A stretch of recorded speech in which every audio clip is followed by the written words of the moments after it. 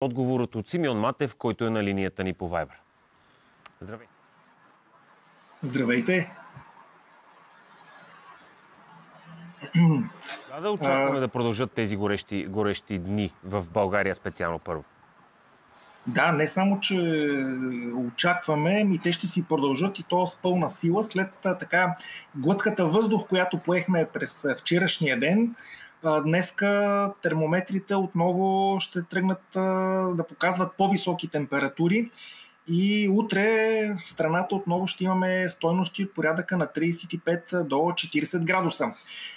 В неделя от север ще проникне по-хладен въздух.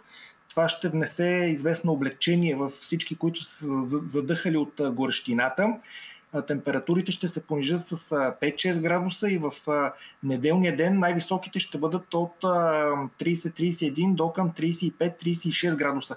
Отново звучат твърде високо, но на фона на 35-40 съгласете се, че си е отново глътка въздух. Трябва да кажем, че това понижение на температурите обаче на места, главно в северо България, по-късно през деня и в източните райони на страната, отново са възможни а, така типичните летни бури, т.е. внезапно усилване на вятъра до скорости над 80-100 км в час, краткотрайно изваляване, носещо не особено големи количества, но понеже се случва внезапно, изненадва хората и а, твърде обичайните и много опасни за сезона грамотевични бури. Така че наред с горещината остава опасността и от такива екстремни явления като грамотевични бури и внезапни усилвания на вятъра. Това говорим за събота вечерта и за неделния ден. А, неделния ден се разбрахме 30, 31, 35, 36 градуса. Понеделник, особено утрото, ще е така доста прохладно. температурите в страната ще са от 15-20 градуса. През деня също свежо време, макар и с температури около и над 30 градуса. И се пренасяме на вторник, сряда, следващата седмица, когато може би ще е най-горещия ден от началото на тази твърде дълга вече гореща вълна. Вторник и сряда имаме условия в страната температурите в най-горещите точки. Това, обикновено са Русенско, около Свищов, Санданско, Петричко и Пловдив, Пазарджишко.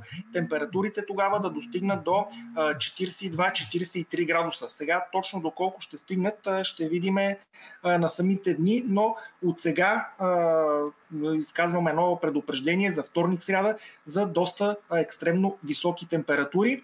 След което обаче още по голяма свежест ще настъпи, защото температурите след сряда четвъртък ще се понижат с около 10 на градуса и ще бъдат близки до 30 и отново това понижение на температурите ще бъде съпроводено с опасност от летни бури.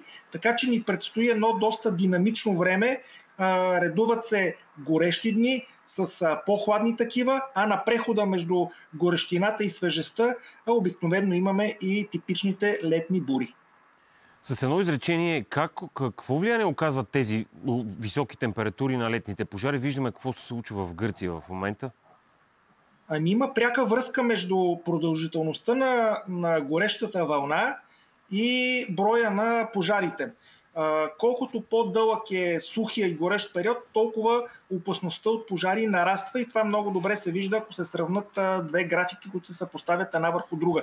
Например, за България една от годините с най-много горски пожари е 2000-та година и това е годината, в която имахме доста дълги сухи периоди.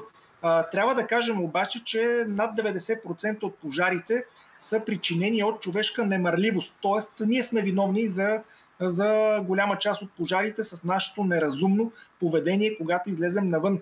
Така че нека да бъдем внимателни, за да не се стигат до такива екстремни а, крайности, каквито в момента наблюдаваме и в а, Гърция. А, само отварям една скоба. Миналата година също в този район имаше доста голям пожар а, и а, властите в Гърция заключиха, че то е резултат от а, а, човешка немърливост, т.е. Добре, е разбрахме. от благодарим много. Okay. Нека бъдем по-внимателни. Опасностите от горещото време и пожарите все още са тук. Благодарим на Симеон Матев онлайн се включи за горещото време.